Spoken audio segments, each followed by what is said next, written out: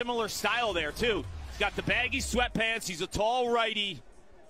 Covers a lot of the net. This is a big spot for him. This is a big spot for these two as well. Joe Nardella has been one of the top face-off men in the world for years. For years, right?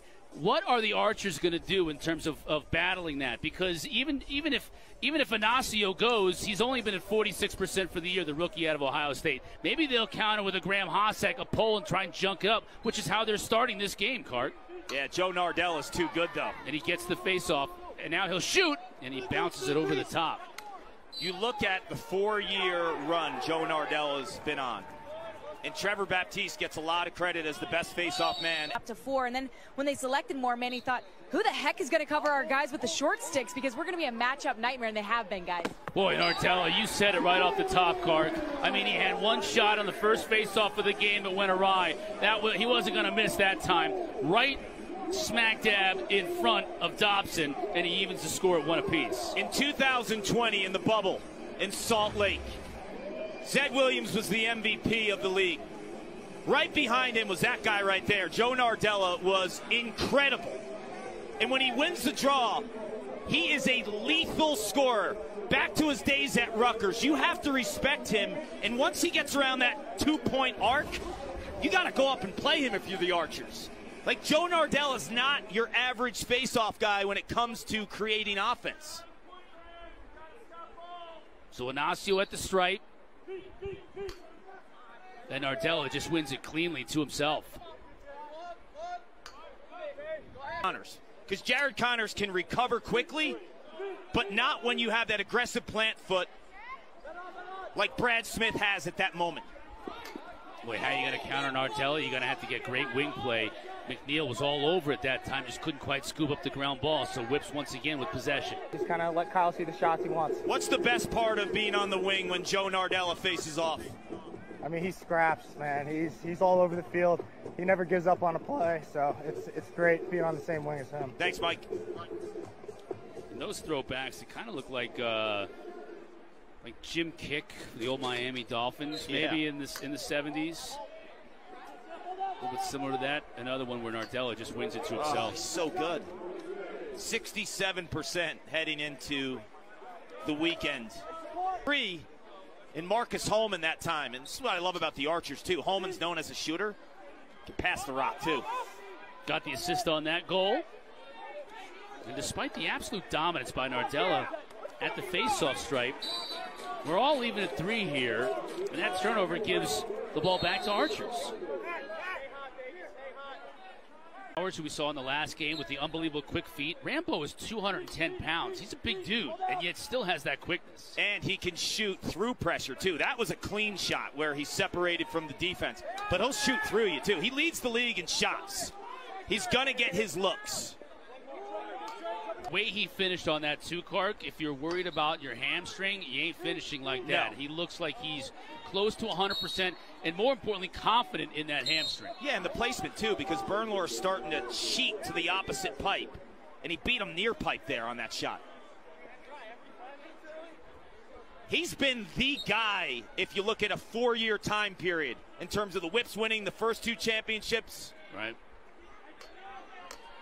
League MVP in 2019. Zed followed suit in 2020. This time it's a scrum. Wasn't a quick win for Nardella, but he wins none the same.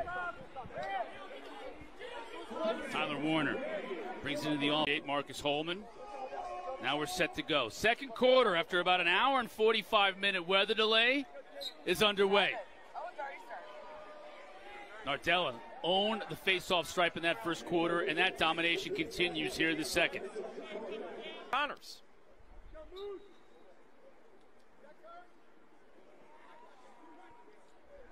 That time wing play. Getting possession for Archers and quick offense out of bounds. Chased down by Will Manny. All right, you want to challenge me? Here we go. Yeah. Like that's him saying, "You want to challenge me? Let's go." I've got so much respect for Rambo. Like he's Adam Gettleman. Chris Bates makes the change. It's a big spot for the rookie. Warner scoops up the ground ball in the middle of the field. Another possession for Whipsnake. Elite passer from the midfield, but there's no behind presence for the chaos like this. They have that combination that no one else has. Big time passers up top and behind. Connors scoops up the ground ball. Timeout, Archers. The ones from the outside have been Brad Smith hammering it to opposite corners. Chris Bates is right. They're not supporting Dobson. Right, another one that comes to mind is when Zed just went right to the front of the goal and basically shot about a two foot shot into the net. Yeah, but oftentimes rookie goalies don't be Brett Dobson. Perfect execution for Whipsnakes, now 9 5. See how quick he was? Save to flush out Right. to Ehrhardt. And Ehrhardt just runs the field. He's like a gazelle. You don't see too many stalemates at the face-off stripe anymore. McNeil picks up this ground ball, though. Gets it to Ament. Nice look for Schreiber coming out of the box. Him in the locker room, he's a character, man. He's a competitor. You heard him talking to the refs about his golf game. The funniest thing is I follow him on Instagram. Every time he beats a friend, his brother Rich or Blaze Riorden, he makes him bend bend the knee. It's classic. He's beating everyone on the course. They're all bending the knee. I'm getting From Bernhardt, the short stick defensive midfielder. And once he does that, it's a sweet shot. And Bernlohr has no shot. another Piper. That's Change the number on that penalty. So Latrell Harris, guilty of the infraction. Rambo's got 10 shots. He leads the league in shots. He's getting to the rack. Like, if you're the archer, send a double early. Just force him to be a passer. Although he's a good passer, he's not at the level passing as he.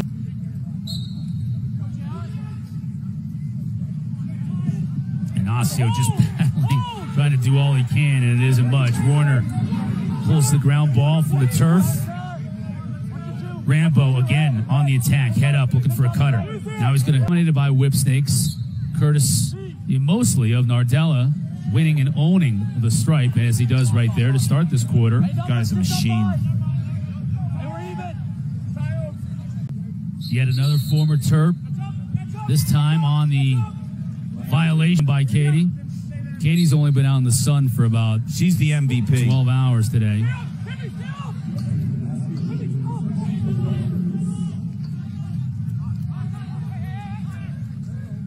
Hedge a little bit. Go ahead. You'll get four incredible games again. Yeah, that's the way they've been lately. Had it in Dallas. We've had it this week as well. It's been a season to remember. I mean, this is, it's just nuts how competitive and close all these games are. It's three. Here's the key. I mean, Inacio's got to give him something.